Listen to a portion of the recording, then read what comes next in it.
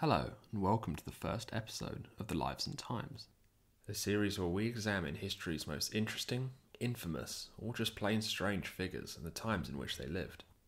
On this episode, we examine the life and legacy of Saint Olga of Kiev, both Christian saint and princess of the Kievan Rus. Olga is a fascinating character, and she is perhaps most well known for the particularly bloody life she led before converting to Christianity. I'm your host, James, and thank you for joining me today as we explore the life and times of St. Olga of Kiev. Now, before we get started, I'll first talk about the sources that we'll be using this episode. Now, the main source we're going to be using today is the Russian Primary Chronicle, otherwise known as the Tale of Bygone Years. This work is pretty much essential when looking at anything to do with early Russian and Slavic history. This chronicle was supposedly compiled by the 12th century monk Saint Nestor of Kiev, utilizing both his own writings and older Slavic historical texts. We will be using other primary sources to provide reference and detail to today's episode, but for the most part, the primary chronicle will be our guide, as it is the only surviving Slavic history contemporary to this period. Now, it's important to note that dating certain events within this chronicle is very difficult, as the author does not always calculate the date correctly when compared with Byzantine sources that cover the same period. So, Forgive me if I'm not able to put a precise date to some events, and be aware that some of the given dates are contested by historians. So, let's start with a bit of historical context. Who were the Kievan Rus, and why do we call them that?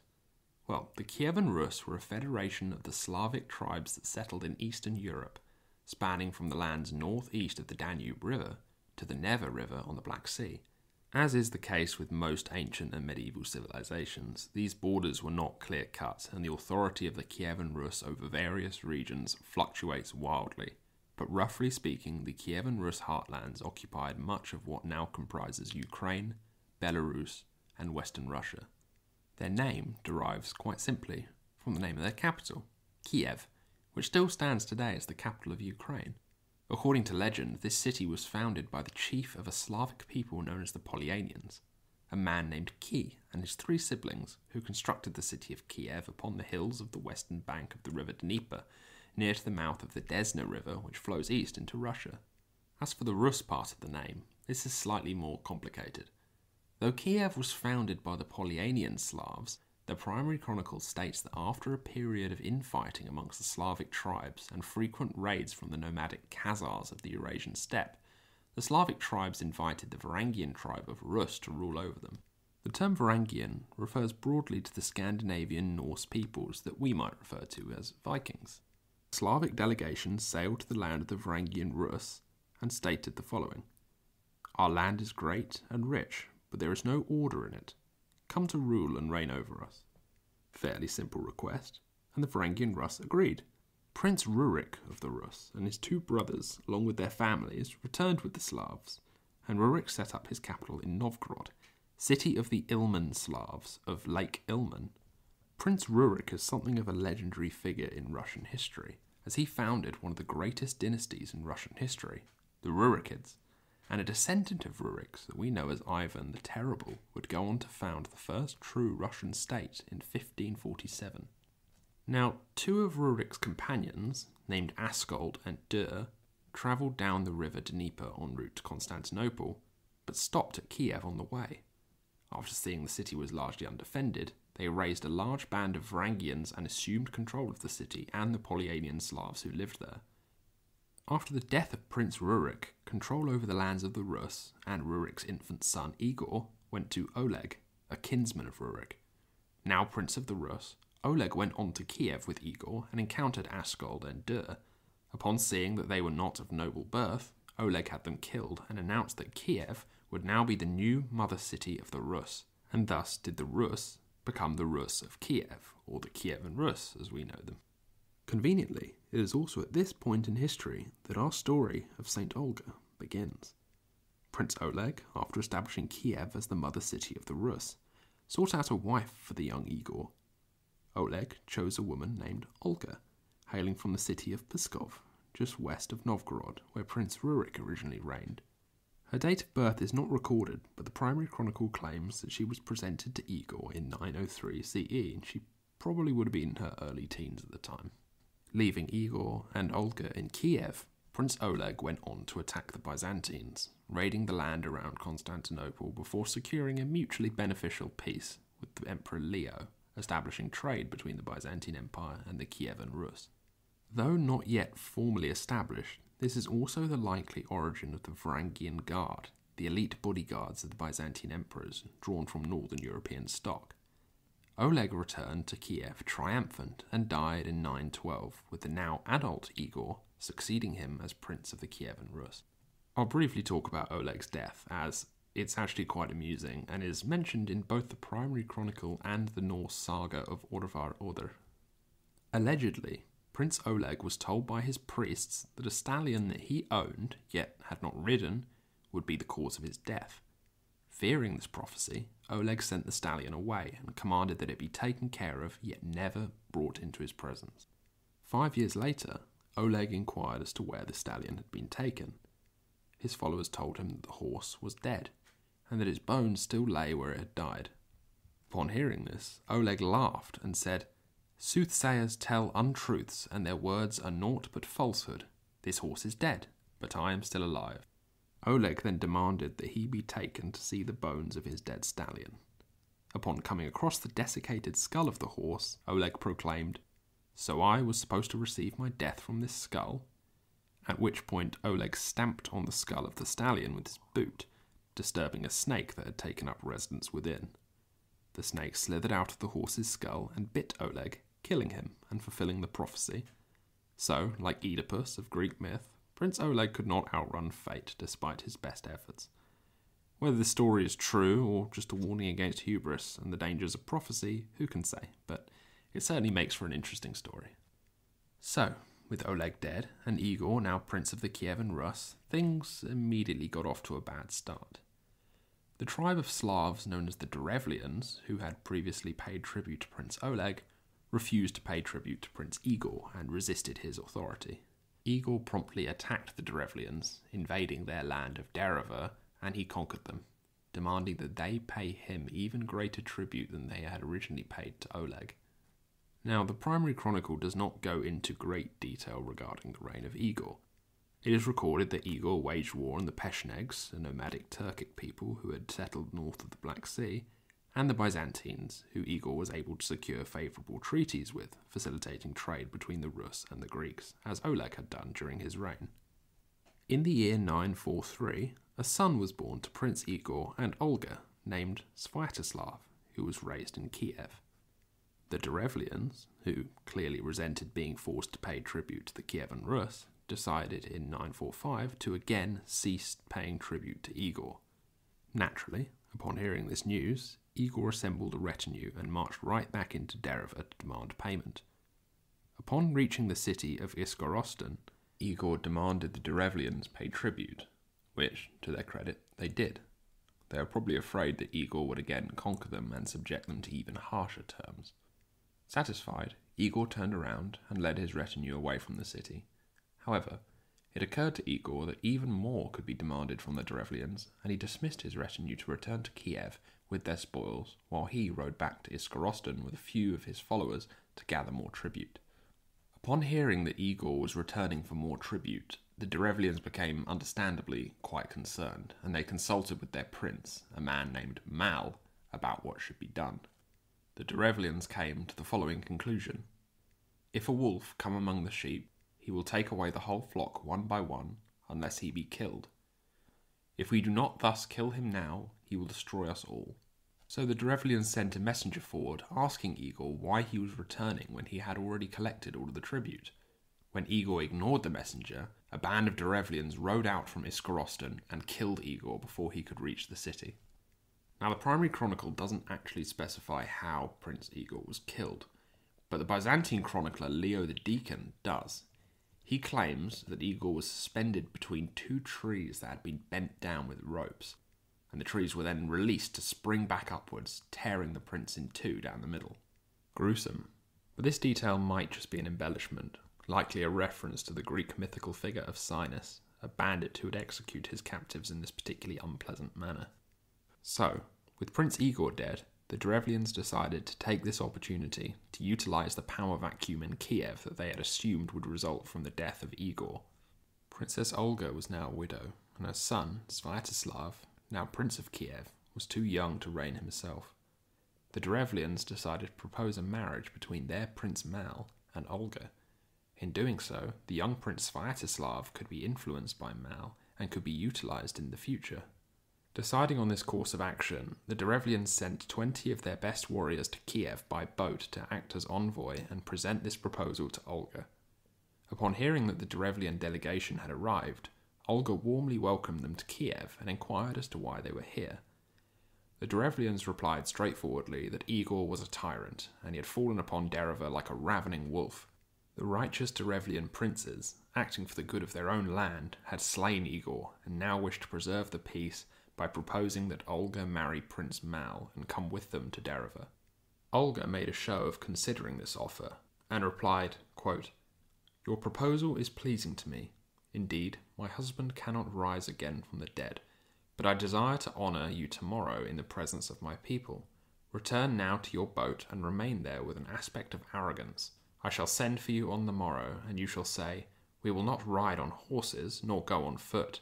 Carry us in our boat and you shall be carried in your boat. This was perhaps rather a strange course of action, considering that at the time the city of Kiev was situated on the hills, whilst the Derevlians were down in the river valley below at a place called Borichev. Carrying a boat filled with twenty men up to the city would have been quite the task, I imagine. Regardless, the Derevlians thought this sounded good, and they returned to their boat carrying with them an air of arrogance which they would certainly cultivate for the next day's ceremony. Meanwhile, Olga commanded that a deep ditch be dug in a stone hall outside of the city, presumably to the confusion of her people. The next day, as instructed, the twenty Derevlian warriors sat in their boat in their full finery and exclaimed, when greeted by Olga's messengers, We will not ride on horseback, nor in wagons, nor go on foot. Carry us in our boats. The people of Kiev then began to despair, thinking that Olga would actually marry the Derevlian prince and that they would be made slaves of the Derevlians. Regardless, they did as ordered and carried the Derevlians up to the stone hall in their boat, where Olga waited for them. Upon being carried into the hall, the Derevlians and their boat were unceremoniously dumped into the pit that had been prepared the day before. The primary chronicle describes the scene that followed. Olga bent over and inquired whether they found the honour to their taste. They answered that it was worse than the death of Igor, she then commanded that they should be buried alive, and thus they were buried. How very undignified for the Derevlians, but things were about to get worse. Not fully satisfied with this, Olga then sent a message to the Derevlians, telling them that if they were serious about their offer, they would send their finest and most distinguished men to go and collect her, otherwise, her people simply would not let her go. The Derevlians received this message and, unaware of the fate of their first delegation, sent their best men to Kiev post haste. This was most likely a collection of Derevlian nobles and distinguished landholders from the region. Upon their arrival in Kiev, Olga again welcomed them warmly to her city and commanded that the weary travellers be taken to the bathhouse so that they may bathe before meeting with her to negotiate. Thus, the Derevlian delegation was led to a bathhouse, which, in those times, in this part of the world, would have been a large wooden hut in which water was heated to steam raising the temperature inside the hut to anywhere between 80 to 95 degrees Celsius. On a side note, if this setup sounds familiar, it should. This is actually one of the earliest descriptions we have of a Russian banya, which are still in use today and can be found in many major cities all across the world.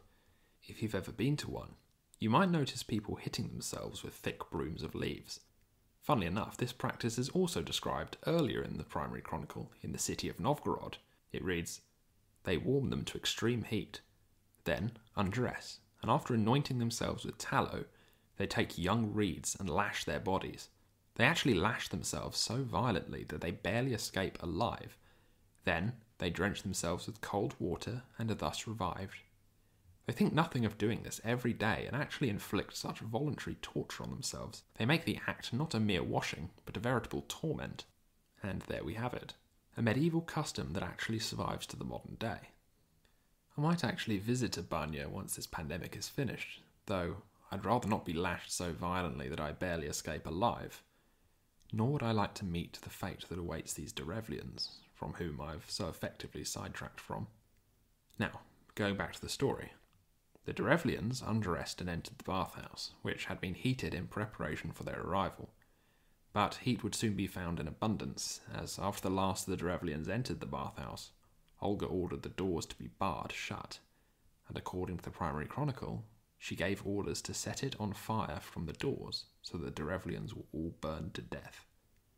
Now, at this point, you might think that Olga had gotten it all out of her, but no. There was still more avenging to be done, and so she dispatched another message to Dereva, saying, quote, I am now coming to you, so prepare great quantities of mead in the city where you killed my husband, that I may weep over his grave and hold a funeral feast for him. Still unaware of the fates of their last two delegations, the Derevlians were anxious to meet Princess Olga and, as ordered, gathered huge amounts of honey, which they used to brew mead. Olga departed from Kiev with a small retinue, heading for the grave of Prince Igor, situated near the site of his death outside of the Derevlian city of Iskorostan. When Olga and her party arrived, she wept at her husband's tomb and had her followers construct a great mound in memory of him. On another side note, this burial mound is called a kurgan and was the traditional way that the Varangian Rus were buried. Indeed, Prince Igor's father, Oleg, was buried beneath a kurgan which allegedly still stands today, about 110 kilometers east of St. Petersburg at a town called Staraya Ladoga. There's several other burial mounds nearby, so if you ever find yourself in the area, it might be worth a visit. Anyways, once Olga had mourned her husband, she ordered that a funerary feast be held and that mead be drunk. Olga told the Derevlians to get started on the mead and that her followers would wait upon them and refill their cups. At this point, the Derevlians, probably between horns of mead, asked Olga where the delegations they had sent to Kiev were, to which Olga replied that they were following behind with her husband's bodyguard.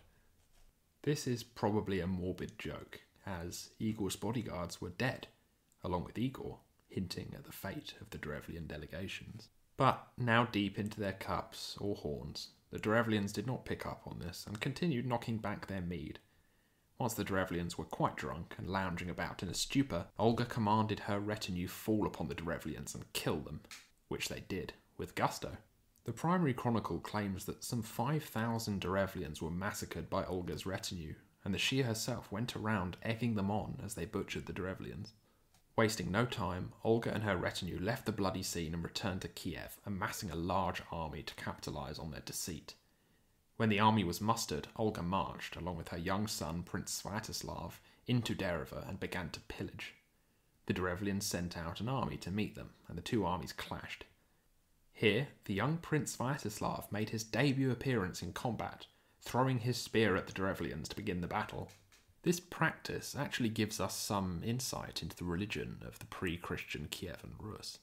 In the Norse pagan religion, it is custom to begin the battle by throwing your spear against the enemy, thus dedicating the battle to come to the honour of the Allfather Odin. However, since Sviatoslav was only a child and the spear was probably rather heavy, the spear, quote, barely cleared the horse's ear and struck against his leg. Regardless, the heroic prince had acted, and the battle was consecrated in the name of the All Father. The Rus took this as the signal to attack, which they did, crushing the Derevlian army and forcing the remainder to flee for safety inside the city of Iskorostan.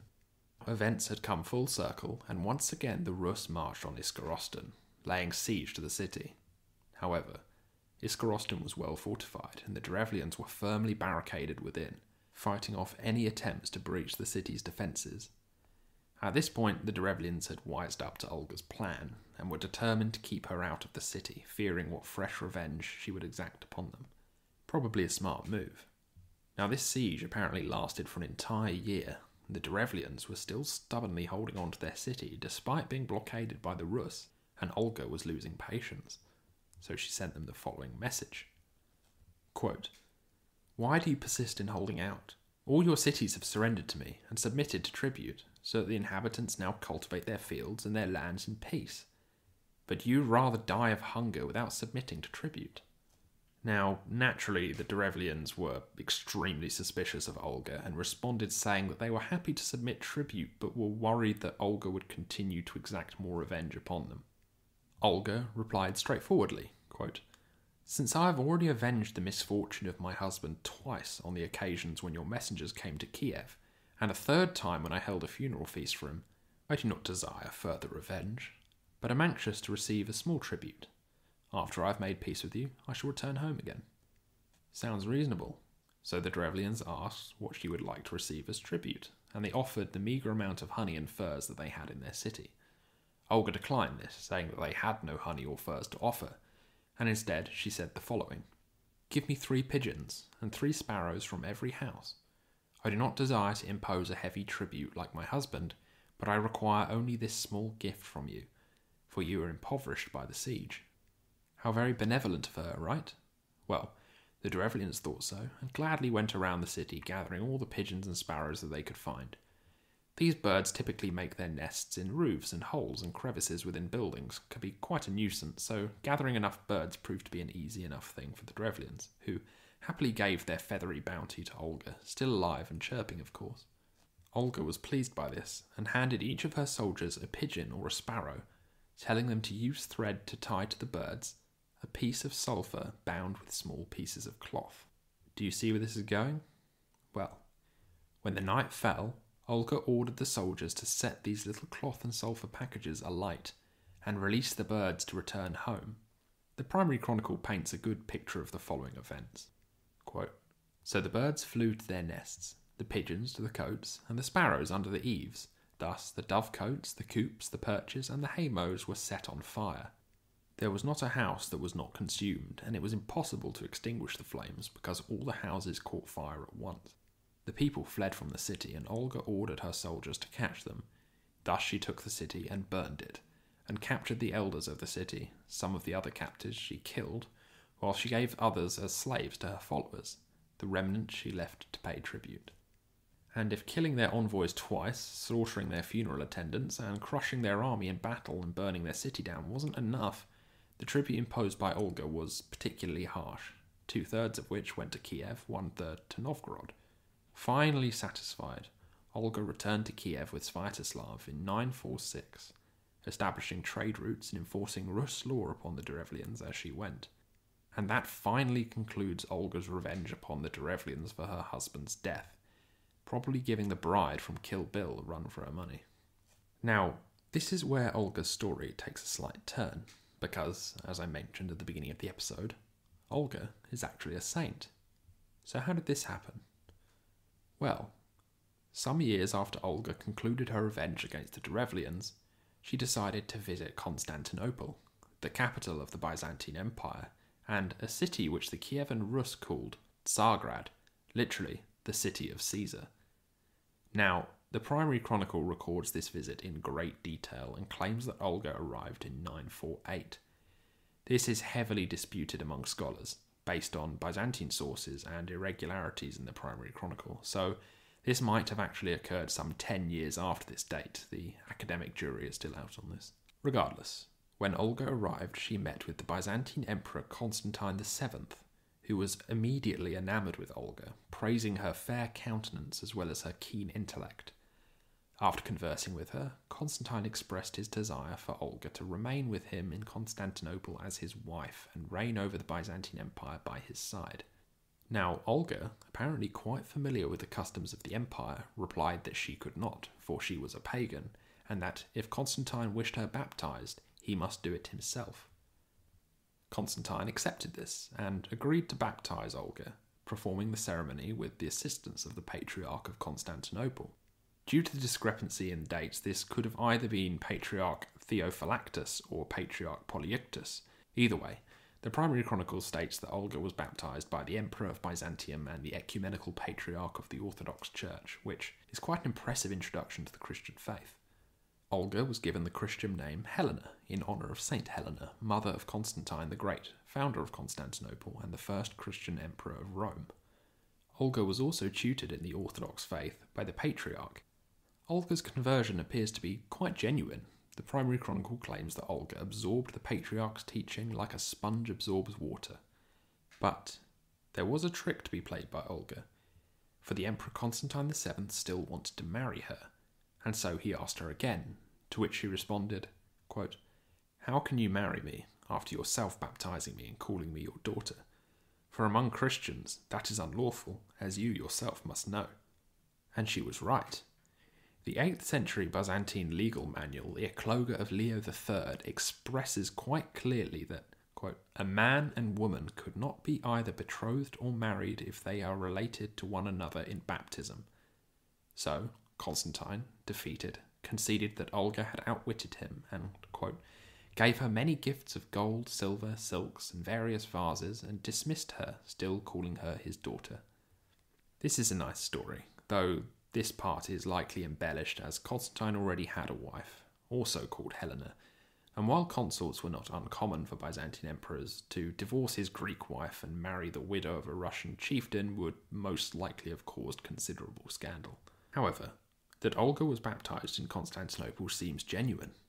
11th century Byzantine historian John Skylitzes records in his Synopsis of History that Olga did indeed visit Constantinople during the reign of Constantine VII and was baptized and honoured for her faith. Likewise, the De Ceremoniis, or Book of Ceremonies, commissioned by Constantine VII himself, also states that Olga and a delegation of the Rus visited Constantinople and was given a lavish welcome by the imperial household. Anyways, after Olga was baptized and well versed in the practices and customs of the Orthodox faith, she was anxious to return to her people. So she received a hearty blessing from the patriarch who had tutored her, and was sent on her way accompanied by a retinue of Orthodox priests who would aid her in Christianizing the Kievan Rus. From this point on, Olga seems to have put her bloody ways behind her, and she lived the remainder of her life in Kiev seeking wisdom and proselytizing the Christian faith to her people. She does not appear to have been that successful, though. The Primary Chronicle, while writing a glowing review of Olga and her newfound faith, claims that those who were baptized were subjected to scorn and mockery by their peers. And it was for this reason that Prince Sviatoslav, Olga's son, now fully grown and invested with his power as prince, chose not to be baptized, preferring the old faith of the Rus. Though Olga wished her son to convert, she did not press him unduly, and she died, naturally, in the year 969 in Kiev on July 11th. Prince Sviatoslav would go on to become a legendary figure in Slavic and Russian history, but for the rest of his story, we'll have to wait for another episode. As for Christianity in the Kievan Rus, it was Olga's grandson, Prince Vladimir, who would officially Christianize the Kievan Rus in 988, earning himself recognition as a saint, like his grandmother. Having covered the events of Princess Olga's life, now is a good time to talk about her canonization as a saint. In the year 1547, the Russian Orthodox Church decreed that Olga was a saint of the Christian faith due to her efforts to spread Christianity in her pagan homeland, and in recognition of the virtuous life she supposedly led after her baptism. The Roman Catholic Church also recognized Olga as a saint, though she was, and still is, mostly venerated in Eastern European and Slavic churches. Olga's bloody revenge against the Derevlians, though seemingly unsaintly behaviour, was regarded as a remnant of the pagan life she left behind, but also a sign of her devotion to her marriage, and thus Olga is venerated as the patron saint of widows and converts. You can find churches and cathedrals dedicated to Olga all across the world, but particularly in Ukraine, Russia, and Belarus. A monument of Olga can be found in Pskov, the city of her birth, along with a chapel, bridge, and international airport named in her honour. In Kiev, you can find the Cathedral of St. Olga, built in 1994, as well as a monument dedicated to her in Mikhailovskaya Square, alongside St. Andrew the Apostle, who allegedly consecrated the site that Kiev would be built upon, and Saints Cyril and Methodius, two 9th century Byzantine missionaries who are credited with bringing Christianity to the Slavs and codifying the first written Slavic alphabet, allowing for Slavic language Bibles to be translated. The Order of Princess Olga was established in 1997 by the Ukrainian President Leonid Kuchma and is a civil decoration awarded to women who display, quote, personal merits in state, production, scientific, educational, cultural, charity, or other spheres of social activities for upbringing children in families. July 11th is marked as St. Olga's feast day and is still celebrated by many Orthodox and Eastern European churches. So, Next time that date rolls around, spare a thought to the sainted Princess Olga. As a pagan princess hell bent on avenging her murdered husband, or as a wise and pious saint living the remainder of her life peacefully in Kiev, or both. Either way, it's safe to say that she is a fascinating and complex figure whose legacy lives on to this day in many parts of the world. Thank you for joining me today on this episode of The Lives and Times, and I'll see you next time.